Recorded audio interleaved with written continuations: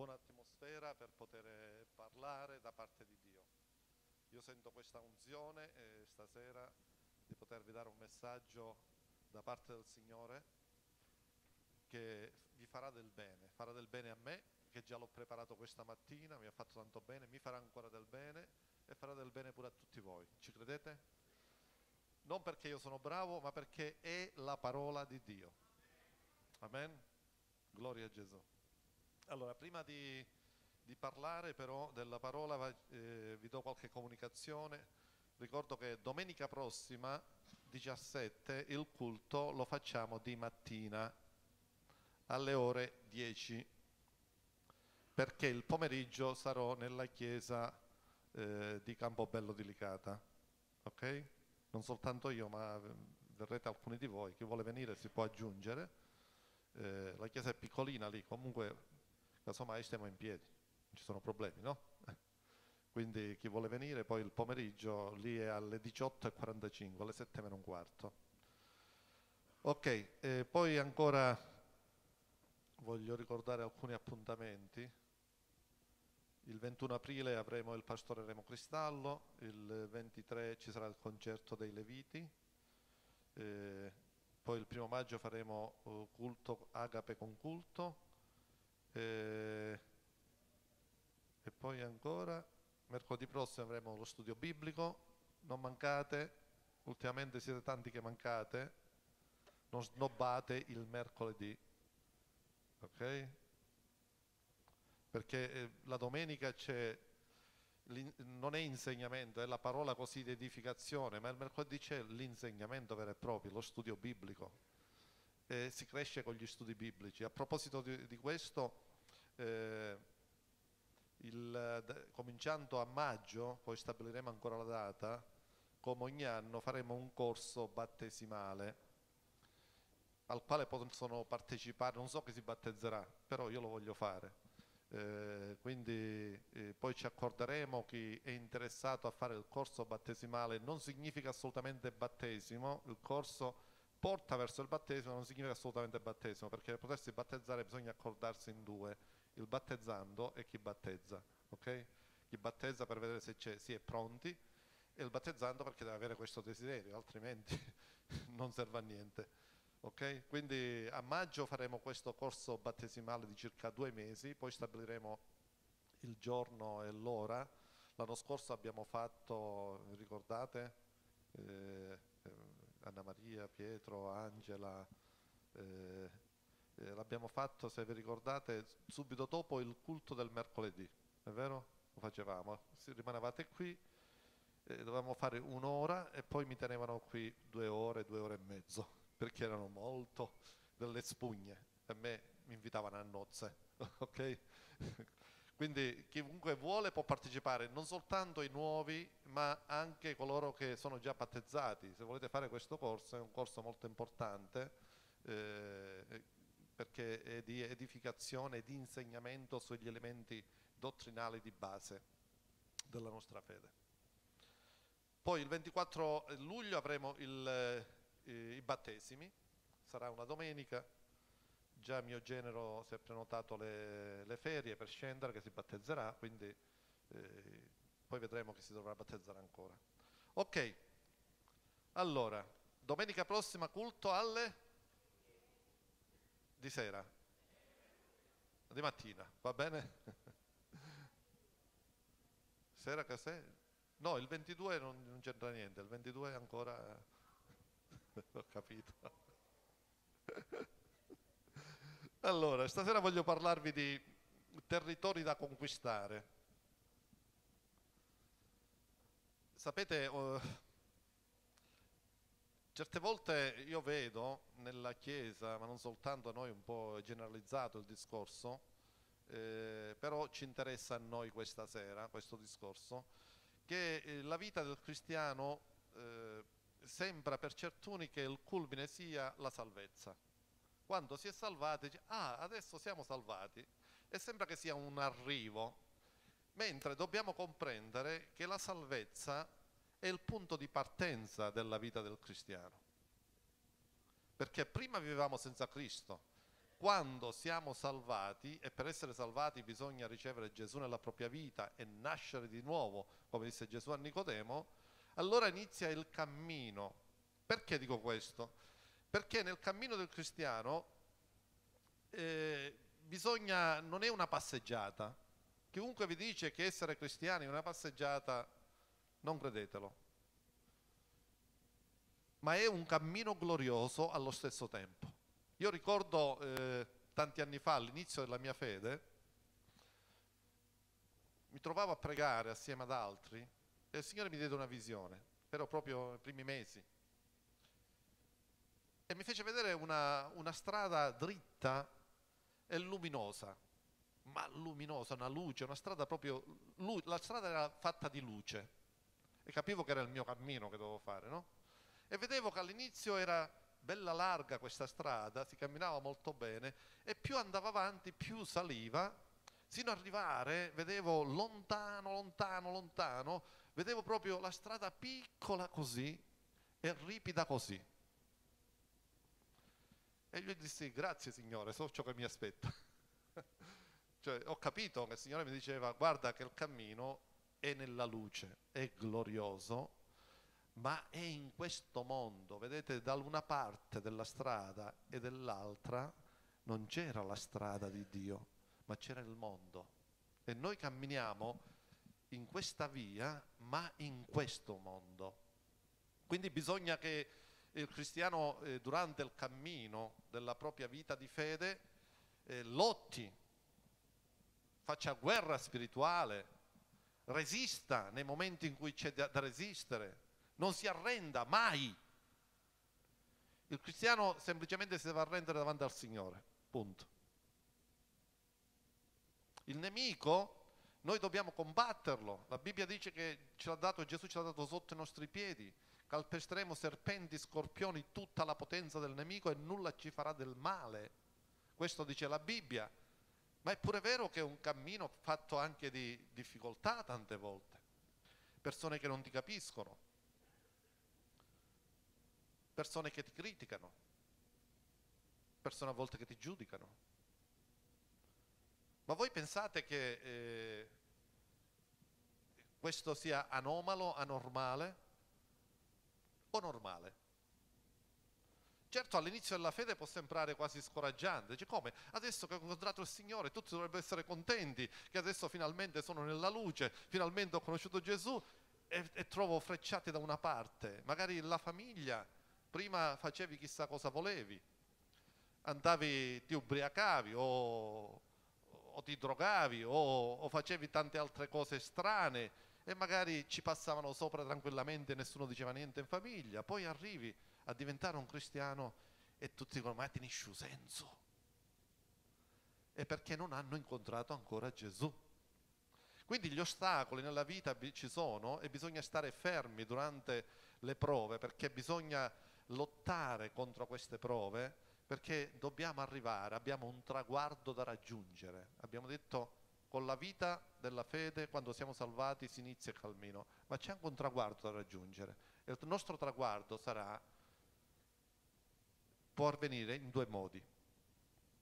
Quando ce ne andiamo da qui perché il Signore ci chiama, oppure perché Gesù ritorna. E siamo ancora qui. Non lo sappiamo noi questo. Quindi cioè, significa dobbiamo resistere sino alla fine. La Bibbia dice che chi persevererà sino alla fine sarà salvato. Difatti la Bibbia parla di, di una salvezza che ha a che vedere col passato, col presente e col futuro. La Bibbia tante volte dice che noi siamo stati salvati, a volte dice che siamo salvati, a volte dice chi persevererà sino alla fine sarà salvato quindi la salvezza implica, prima di ogni cosa, il passato. Il nostro passato è la croce di Gesù. Siamo stati salvati alla croce. Ma implica pure il presente, significa l'accettazione di questa salvezza che viene dalla croce. Ma implica pure il futuro, significa dobbiamo perseverare sino alla fine. Perché la salvezza, cammin facendo, si può perdere. E ho visto tante persone, non dico che hanno perduto la salvezza, ma che si sono smarriti, non hanno saputo resistere, sono venuti meno, si sono affievoliti, si sono sviati, si sono, sono usciti fuori di nuovo dalla via della luce e camminano per vie di questo mondo, dove c'è, ascoltatemi bene, morte, perché l'unica via nella quale c'è vita è Gesù Cristo. Allora eh, ho preso una scrittura che ci parla un po' di queste cose, che è nell'Antico Testamento, in Numeri, capitolo 33, dal verso 50, leggiamo, e dice così. Qui il contesto è questo, Mosè prima, eh, sapete, il, quando il popolo, di, il popolo di Israele uscì dall'Egitto, rimase 40 anni nel deserto, Mosè era con il popolo, ma Mosè non, non è potuto entrare nella terra promessa, ovvero la terra di Canaan, non è entrato, e prima di entrare proprio nella terra di Canaan, lui ha questa parola da parte di Dio per Israele, per il popolo che deve entrare nella terra di Canaan. Qualcuno dice come mai Dio non ha fatto entrare Mosè nella terra di Canaan? C'è un aspetto di disubbidienza da parte di Mosè, ma soprattutto Sapete chi ha fatto entrare il popolo nella terra di Canaan, nella terra promessa, è stata Giosuè. E Giosuè significa Gesù salva. È lo stesso nome, Yahshua, in ebraico, che significa Dio salva. Quindi Giosuè è Yahshua, Gesù, il nostro Gesù è Yahshua. Perché allora è, è Yahshua che ha fatto entrare il popolo nella terra promessa? Perché Mosè rappresentava la legge, e la legge non ci fa entrare nella terra promessa. Yahshua significa, rappresenta invece la grazia di Dio, l'Iddio che salva e chi fa entrare nella terra promessa è Gesù Cristo, il nostro Signore. Amen? Gloria a Gesù. Quindi leggiamo insieme. Prima di entrare nella terra di Canaan, Mosè eh, ebbe questa parola da parte di Dio per il popolo. Poi l'Eterno parlò a Mosè nelle pianure di Moab, presso al Giordano sulla sponda opposta a Gerico dicendo parla ai figli di Israele di loro. Quando passerete il Giordano per entrare nel paese di Canaan scaccerete davanti a voi tutti gli abitanti del paese. Distruggerete tutte le loro immagini distruggerete tutte le loro statue di metallo fuso e demolirete tutti i loro alti luoghi prenderete possesso del paese e in esso vi stabilirete, perché io vi ho dato il paese in proprietà. Dividerete il paese a sorte secondo le vostre famiglie. Alle più grandi darete una porzione maggiore, alle più piccole darete una porzione minore. Ognuno avrà quello che gli sarà toccato a sorte. Le spartizioni verranno fatte in base alle tribù dei vostri padri. Ma se non scaccerete davanti a voi gli abitanti del paese, quelli di loro da voi lasciati saranno per voi come spine negli occhi e pungoli nei fianchi e vi molesteranno nel paese che abiterete e avverrà che io tratterò voi come mi ero proposto di trattare loro. Ora questa scrittura, vedete, ci parla di, di Canaan, di possesso, di autorità, ma ci parla anche di modo di vivere, di schiacciare, di non lasciare. Ci dice pure queste cose, è vero che sono molto importanti. Ed è una figura della vita, della nostra fede quando entriamo nel regno di Dio, perché Canaan è figura del regno di Dio, ma Canaan è figura pure della nuova nascita. Siamo noi nuovi nel territorio di Dio. E poiché noi siamo nati di nuovo, Canaan per noi è la nuova nascita, per noi è ancora il regno di Dio, per noi è ancora come dobbiamo vivere il regno di Dio in Canaan. Ok? Questo significa in realtà. La Bibbia dice che in questo eh, passo della scrittura che dobbiamo prendere possesso del paese. Cos'è il paese innanzitutto? Il paese è composto da un territorio. Il paese di Favara, per esempio, ha un territorio, vero? Dove ha dei limiti. Il paese è composto da un territorio dove abitano delle persone. Noi abbiamo, fratelli miei, un territorio interiore ed un territorio esteriore da possedere, da conquistare. Significa che abbiamo lotte di interiori, lotte di dentro e lotte di fuori. Di, di fuori ho appena un po' accennato, ma abbiamo lotte interiori, tante volte conflitti interiori che dobbiamo affrontare, con i quali dobbiamo lottare e là dobbiamo anche vincere, sottomettendoli all'autorità delle nuove leggi che sono state scritte nei nostri cuori, che è la parola di Dio. Prenderete possesso di questo paese. Dominarlo significa, perché Dio ci dà in dominio il paese, significa governarlo, perché come si domina? Governando con le leggi di Dio. Dio ha messo delle leggi nei nostri cuori.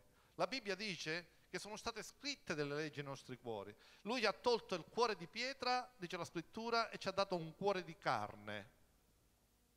Vedete, nel cuore di pietra può essere anche un cuore legalistico, anche religioso, dove ci sono scritti i dieci comandamenti che sono buoni, eh, intendiamoci, ma sono fatti di pietra, non battono. Ma il cuore di carne è quando Dio scrive le sue leggi per mezzo dello Spirito Santo nei nostri cuori. E noi abbiamo ricevuto da parte del Signore un cuore che pulsa di carne. E quindi dobbiamo lasciare agire, dobbiamo permettere a Dio che col suo dito, lo Spirito, non più su pietra, ma su cuore, scriva le sue leggi affinché noi le possiamo mettere in pratica nel territorio che Dio ci ha dato dove dobbiamo vivere e conquistare. Dobbiamo governare con le leggi di Dio. Le leggi di Dio devono, vedete, tutti noi siamo,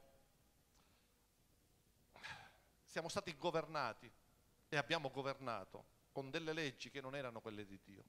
E a volte tuttora lo facciamo magari. Sono leggi demoniache, perché tutto ciò che non è da Dio è dal demone. E noi siamo stati governati per certi versi, istruiti, formati su determinate leggi che, erano, che non erano le leggi di Dio e che ci hanno formato male. E quindi noi con la nuova nascita, noi dobbiamo imparare a sostituire le leggi del passato con le leggi del nuovo regno che è stato messo dentro di noi, il regno di Dio. Amen? Sostituiamo queste leggi, perché se non le sostituiamo abbiamo problemi. Sapete, le persone che si allontanano dalla fede, dopo aver sperimentato la nuova nascita, è perché in realtà permettono di nuovo alle vecchie leggi di dominare nelle loro vite. E questo è un grave problema per le chiese o per il credente. La Bibbia dice qui che noi, il popolo di Israele, quando entrava nella terra, eh, terra promessa, doveva combattere, doveva schiacciare, vero? Gli abitanti del paese. Noi non dobbiamo schiacciare nessuno dal punto di vista fisico, noi dobbiamo amare le persone, ok? Però è pure vero che questo ci dice, ci indica qualcosa. Cosa dobbiamo schiacciare? Contro chi dobbiamo lottare? Gli abitanti del paese. Gli abitanti del paese ci parla della cultura di questo mondo. Ci parla ancora della mentalità, delle mode che ci circondano, dei desideri, desideri illegittimi, concupiscenze, dei pregiudizi. E vedete, la nostra società è costellata di queste cose, la nostra società, vi dico di più, è formata in questo modo. Vedete, a volte c'è una cultura, e non so se ve ne accorgete, ma penso di sì, c'è una cultura che tutto contempla meno che Dio. Persone anche intelligenti, persone anche che sono proprio di cultura, di una certa statura, elevati, ma hanno una filosofia incredibile, ma Dio è messo fuori dalla loro cultura. E io vi dico, fratelli, ogni tipo di cultura che mette fuori Dio non è più la nostra cultura, non deve essere più la nostra cultura. La nostra formazione, la nostra cultura deve venire dalla parola di Dio. Da qui. Qui ci dobbiamo formare, qui ci dobbiamo istruire, qui dobbiamo crescere. Qui dobbiamo imparare a sperimentare la trasformazione della nostra mente. Qui dobbiamo imparare a cambiare mentalità. Qui dobbiamo imparare a capire quali sono le mode sbagliate, i desideri illegittimi, i pregiudizi. Noi, la Bibbia dice, conoscerete la verità e la verità vi farà liberi. È libertà da queste cose. Da che cosa siamo liberi? Siamo liberi perché facciamo quello che vogliamo? No, siamo liberi perché non condividiamo più il modo di vivere di questo mondo. Delle persone che eh, attraverso la filosofia distorcono i pensieri e giustificano tutto. Giustificano ogni cosa che è contro la volontà di Dio. Ieri sera parlavamo con, con una sorella e diceva, eh, eh, lei diceva, parlavo con una mia amica e, mi dice, e dicevo, sai, parlando per adesso un tema molto caldo questo, della, eh, delle unioni civili, dell'omosessualità, eh, dei matrimoni tra gay, eccetera, eccetera. E gli diceva, dice, guarda, Dio dice, Dio dice, nella sua parola, Dio dice che lui ha in abominio queste cose. Non significa che non ama quelle persone, ma vuole che cambino. E quello gli diceva, dice, se il tuo Dio dice questo non sono d'accordo con Dio. La cultura, capite? La mentalità. Si fanno Dio a se stessi. E questo è un problema, un problema nella nostra società, ma è un problema che tende a scardinare anche i nostri valori e i nostri principi, capite? Noi dobbiamo stare saldi nella parola di Dio.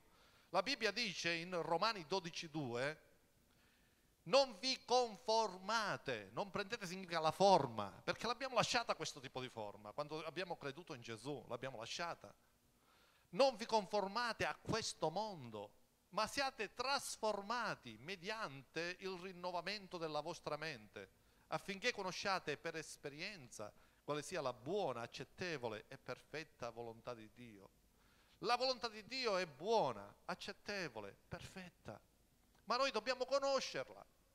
E per conoscerla dobbiamo capire che la forma di questo mondo, lo stampo culturale, lo stampo sociale, lo stampo dei desideri, lo stampo dei pregiudizi, dobbiamo lasciarlo. Perché se non lo lasciamo ci condizionerà. Quei, saranno quei pungoli, adesso poi arriveremo pure a questo. La Bibbia dice che non ci dobbiamo conformare a questo mondo, ma dobbiamo essere anzi trasformati rinnovamento della mente, affinché conosciamo attraverso il rinnovamento della mente quale sia la volontà di Dio. Il Pietro arriva a dire, prima Pietro 1, 14 al 19, dice così, come figli ubbidienti, anche lui dice, non conformatevi alle concupiscenze del tempo passato. Che significa concupiscenze? Per gli addetti ai lavori forse lo sapete, ma tanti non sanno. Concupiscenza significa desideri illegittimi, perché ci sono desideri legittimi e ci sono desideri illegittimi. Se uno pensa di stare con sua moglie è un desiderio legittimo. Chi non è sposato e pensa di stare insieme è un desiderio illegittimo. Concupiscenze. Dare sfogo ai pensieri corrotti della mente come figli ubbidienti, ma poiché noi siamo figli, dice la scrittura, non prendete la forma, non conformatevi alle concupiscenze del tempo passato quando eravate nell'ignoranza, non conoscevate la parola. Ma come colui che vi ha chiamati è santo, voi pure siate santi in tutta la vostra condotta. Poiché sta scritto siate santi perché io sono santo. E se invocate come Padre Colui che senza favoritismi di persona giudica secondo l'opera di ciascuno, conducetevi con timore per tutto il tempo del vostro pellegrinaggio. Il tempo del pellegrinaggio è il cammino della nostra fede. Abbiamo iniziato quando abbiamo creduto, un giorno arriveremo al traguardo. Tutto il tempo. Sapendo che non con cose corruttibili come argento o oro siete stati riscattati dal vostro vano modo di vivere, tramandatovi dai padri, ma col prezioso sangue di Cristo, come di agnello senza difetto e senza macchia. E la Bibbia, vedete, dice pure di stare attento affinché noi possiamo camminare, coltivare i pensieri giusti della parola di Dio, di avere pure le sane compagnie. Qualcuno diceva una volta, un proverbio dice, dimmi con chi vai e ti dirò chi sei. Ma anche la Bibbia ne parla. La Bibbia la, eh, ne parla nel Salmo 1, ma qui in Prima Corinzi 15-23 guardate cosa dice, non vi ingannate, perché a volte anche credenti si ingannano pensando, pensando vabbè che ci fa, io sto con gli altri, non mi interessa, l'importante è che cerco di comportarmi bene. E magari si sta con compagnie sbagliate, che non hanno timore, che non hanno timore di Dio, che non amano per niente Dio, anzi lo bestemmiano a volte. E noi ci stiamo lì accanto magari. Guardate cosa dice, non vi ingannate, è un inganno questo, quando si pensa, vabbè io però mi comporto bene. No, non vi ingannate, le cattive compagnie corrompono i buoni costumi. Questo dice la Bibbia. Le cattive compagnie corrompono i buoni costumi. Non significa che non dobbiamo avere amici di fuori, non sto dicendo questo, ma selezioniamoli quelli che commettono, io ricordo quando ero ragazzo, prima della fede, ragazzo parlo giovane, avevo delle compagnie, avevo compagnie buone, ma avevo compagnie pure cattive, sapete?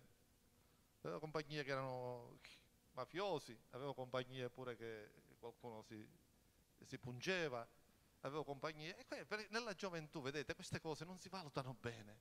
Io non avevo la luce della parola, e ringrazio Dio che non sono andato a finire in carcere qualche volta quando eh, hanno combinato. Io, non, io ero un bravo ragazzo, tra virgolette, avevo certi principi, certi valori, ce li avevo nel cuore mio, ma camminavo con certe persone, alcune buone, alcune cattive.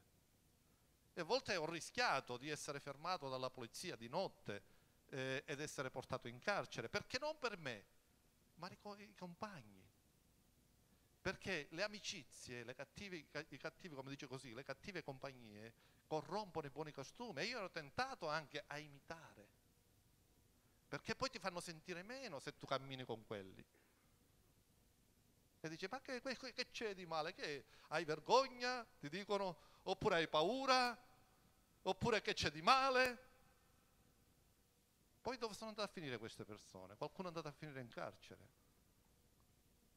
qualcuno è morto, non ci sono più, perché non hanno cambiato vita.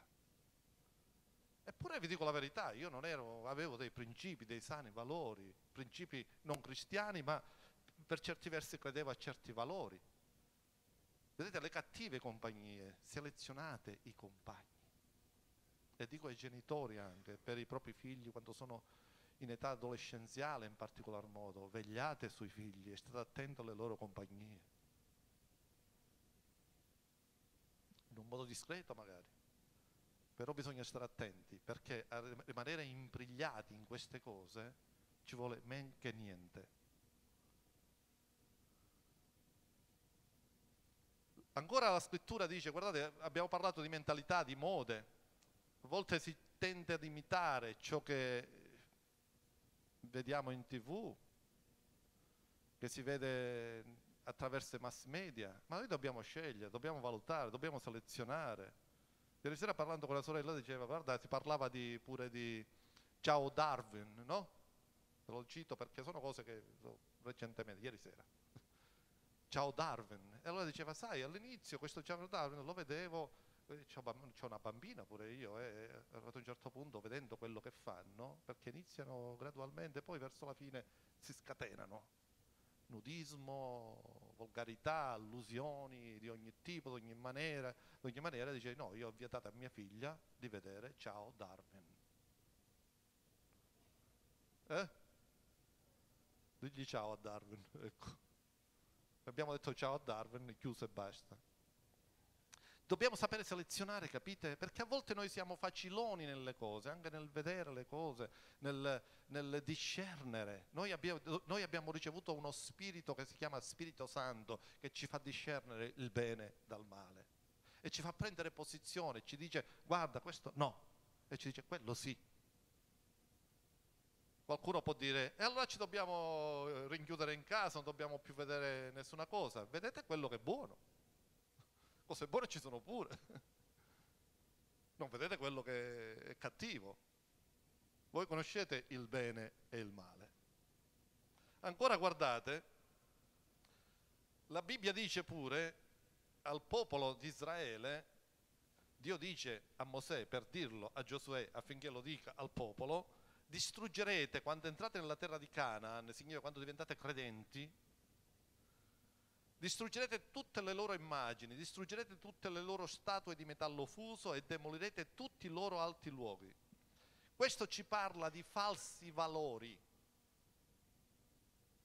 che il mondo considera importanti e che non sono niente, sono falsi valori, come l'idolatria. L'idolatria è un falso valore. Idolatria significa adorare ciò che non è Dio, idolo.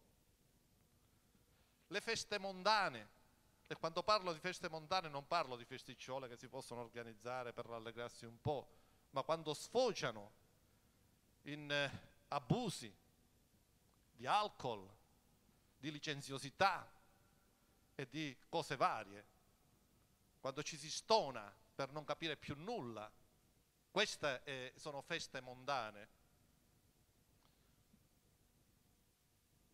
Feste mondane, tradizioni idolatriche e religiose, non servono a niente, sono falsi valori. E tante persone, specialmente nella nostra nazione, sono attaccati a questi valori che non hanno un fondamento biblico, che non hanno un fondamento di verità e che sono falsi valori che vengono viste sotto una luce diversa e li fanno diventare veri valori. Ma in realtà, se li confrontate con la verità, sono falsi, falsi, falsi, ripeterei mille volte, falsi valori che non servono a niente. Questi erano i popoli pagani che facevano queste cose, avete visto? Che Dio stava schiacciando davanti alla Chiesa, davanti a Israele, davanti al popolo, davanti al, al, al credente. Dice, tu le devi schiacciare queste cose, non ti fare come loro. Li devi combattere, devi lottare queste cose contro di loro, devi schiacciarli, devi mandarli via, non tollerarli. Non tollerarli non significa intolleranza, significa intolleranza interiore, capite? Non si parla di eh, fare guerra alle persone, ma di te, in te non ci devono essere queste cose. Ancora ci sono idolatria e ancora, fratelli miei, non è solo uh, religiosità, ma eh, molto più spesso, anche oggi, è eh, i divi dello spettacolo, dello sport, tutto ciò che diventa fanatismo per qualcuno, un oggetto oppure una persona. Quello è il mio idolo. Quando avete, avete sentito queste cose? È mio, quel calciatore Messi è il mio idolo ci manca solo che gli fanno una statuina nella loro cameretta e la baciano e magari ci accendono un gerone. Oppure la foto, la foto sono tutto costellato di foto, oppure un idolo del rock, dell'hard rock, del, del metal, di questo, quell'altro. Fratelli miei, sono idoli. E il credente deve valutare queste cose con la parola. E non soltanto li deve valutare, ma li deve la Bibbia dice schiacciare, cioè non devono fare parte, significa, della tua vita. Questo è il cristianesimo. Altrimenti si entra nel compromesso. E qui questa scrittura avvisa che c'è un pericolo di compromesso quando dice se non scaccerete queste cose davanti a voi, se non scaccerete davanti a voi gli abitanti del paese, quelli di loro di voi che lascerete, che tollerate, ma questa cosa ci fa? Niente. Quello cosa ci fa? Niente. E quell'altro, e che c'è? L'importante che mi interessa. Questo è tollerare tutto ciò che Dio ci dice di schiacciare. E allora la tolleranza, guardate,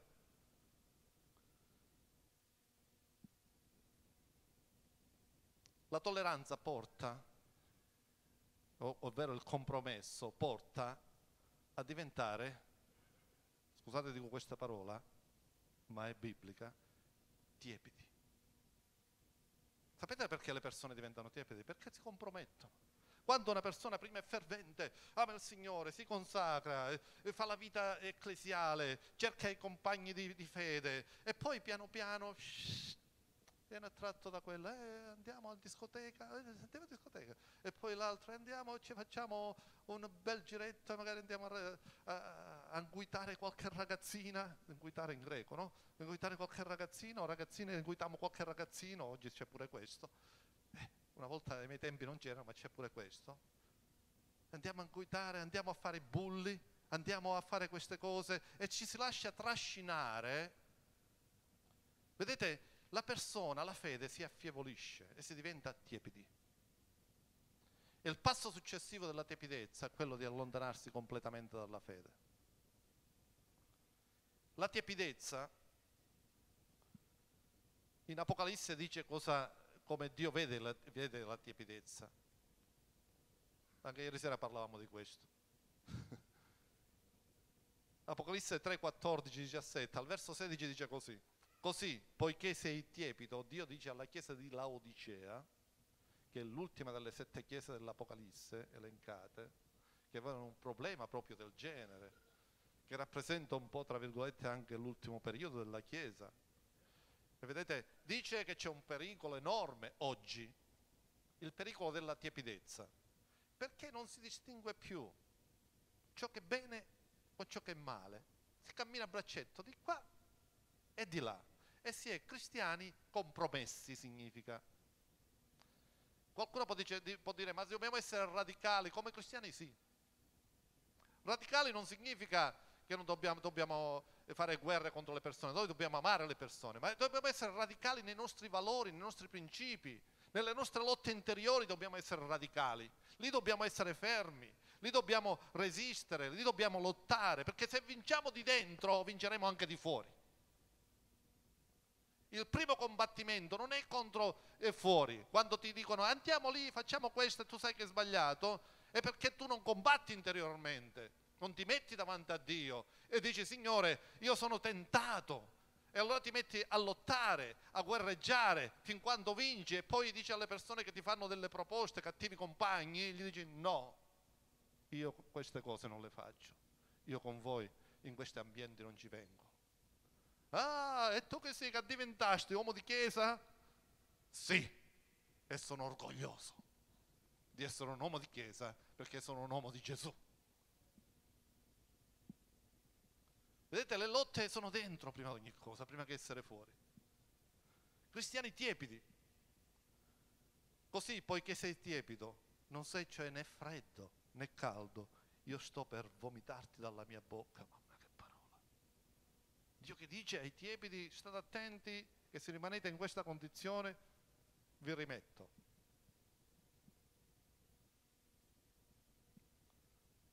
E dice ancora che la tiepidezza, ovvero il compromesso, produce delle cose. Dice così, se tu tolleri queste cose, li lasci in mezzo a te. Saranno per voi come spine negli occhi. Avete mai avuto qualche spina nell'occhio? mentre magari saldate o eh, eh qualcosa che arriva all'occhio, che fastidio, vero? Meno male che c'è l'oculista che la toglie poi. Ma pensate se non si può togliere. S'annorba significa, vero? Non si vede, l'occhio che lacrima, non vedete più bene. Quindi spine negli occhi producono non solo dolore, che produce dolore le spine negli occhi, ma impediscono di vedere bene e coloro che entrano in compromesso non distinguono più bene ciò che li circonda nell'ambito della fede. Per questo a volte io è capitato qualche volta con qualche giovane in particolar modo di dire fratello mio, ragazzo, senti questa cosa non è così. Allora no, è che c'è di male, è che c'è di qua, è che c'è di... Non lo vedono non capiscono certi valori spirituali perché ancora magari sono giovani. Ma i giovani dovrebbero, dovrebbero avere fiducia in coloro che sono le autorità della Chiesa, altrimenti dove si va? Ognuno dice, ah, il pastore dice così, per me non è così. Che bella Chiesa che siamo. Dico, ognuno fa come vuole. Non significa che deve essere il pastore un dittatore, ma il pastore deve indicare il bene e il male. Non significa che azzeccherà sempre tutto, ma questa è la direzione. Tu la pensi così e che mi interessa? Io la penso diversamente.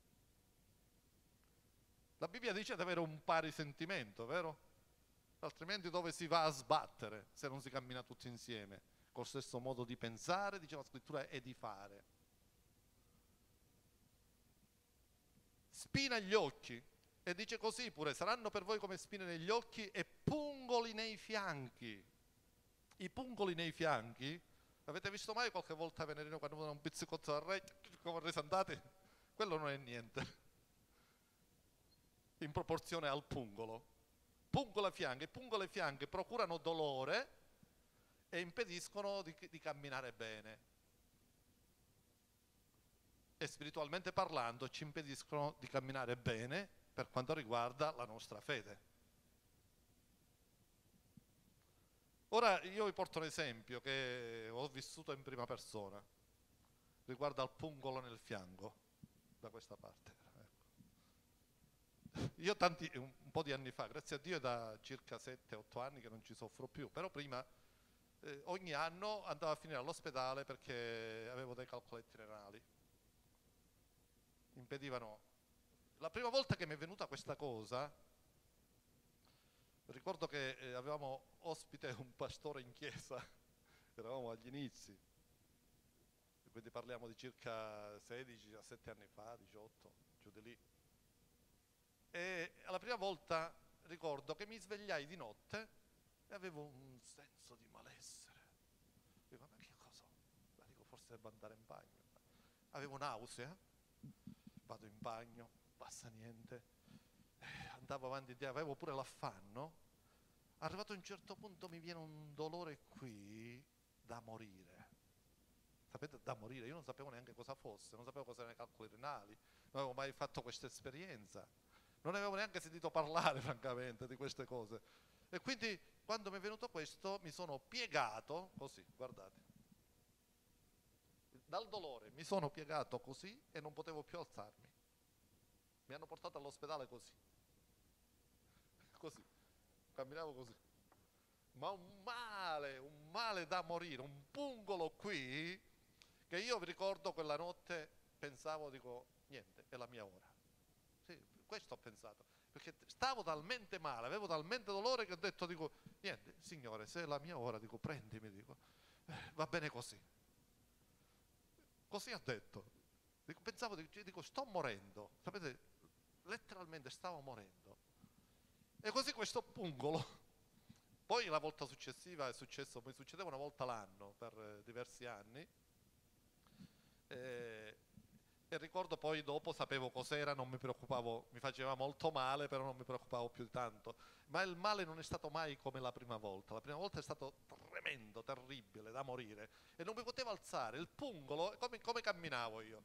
Io ricordo che mia moglie chiamò suo fratello, che abitava allora era Schetto, abitava là vicino a noi, e suo fratello, mio cognato, eh, mi diceva andiamo, andiamo all'ospedale. Era inverno, pensate a dicembre, e io sudavo come un budicino, sudavo, cioè, eh, eh, dicevo aprite i finestrini, aprite i finestrini. E quando camminavo, ti portiamo, dico, dico no, andiamo piano, così camminavo.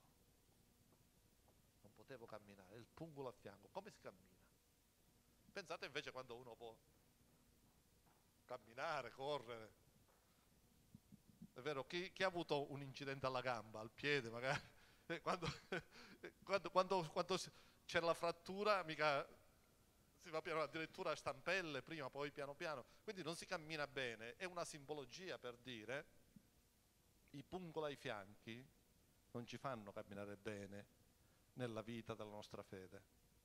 E noi abbiamo un percorso da fare, fratelli miei, e dobbiamo resistere sino alla fine, perché non siamo ancora arrivati. Dobbiamo lottare, dobbiamo guerreggiare e dobbiamo conquistare territori che stanno dentro di noi. E se conquistiamo i territori che stanno dentro di noi, conquisteremo anche coloro che ci stanno attorno. Amen. Per concludere, dice così la Bibbia, che se noi non togliamo il compromesso dalla nostra vita, queste cose ci molesteranno. Abiteremo, saremo nella fede, ma ci molesteranno e vivremo male. Per quando siamo molestati viviamo male. Il compromesso del credente produce una continua molestia di dentro e di fuori. Il risultato può diventare la paralisi spirituale. Qual è la volontà di Dio invece? Vogliamo concludere positivamente perché Dio ci parla per incitarci a rivedere interiormente dentro di noi come stanno le cose e a migliorarci, a fare di più, a lasciare eh, tutte quelle cose che non ci fanno vedere bene, tutte quelle cose che ci, eh, non ci fanno camminare bene, perché Dio, la volontà di Dio, che noi siamo liberati da queste cose, da questi nemici, perché sono dei nemici che non vogliono che arriviamo sino alla fine. Tu hai cominciato un percorso nella fede, Dio vuole che arrivi sino al traguardo, perché la Bibbia dice colui che ha iniziato un'opera buona in voi la porterà a compimento sino a quel giorno. Lui vuole questo, significa, ma noi? Non è automatico. Noi dobbiamo avallare ciò che Dio vuole fare, collaborando con Lui, resistendo quando c'è da resistere, lottare quando c'è da lottare, rimanendo fermi nella fede, non entrando in compromesso, quando ci vogliono portare nel compromesso dobbiamo dire semplicemente no. E se abbiamo delle tentazioni, andiamo al Signore che ci fortifica per resistere alle tentazioni e per rimanere fermi nella sua parola. Abbiamo bisogno di questo, Dio vuole liberarci dai nemici che stanno dentro di noi e da quelli che stanno fuori di noi. E vi dico di più, se noi ci proviamo per mezzo della fede, Lui ci darà la vittoria. Amen? Ci alziamo in piedi. Gloria a Gesù. Lui ci darà la vittoria, ma tu devi fare la tua parte. Perché se noi non facciamo la nostra parte, Dio non ci può dare la vittoria, anche se Lui ha preparato la vittoria per tutti noi.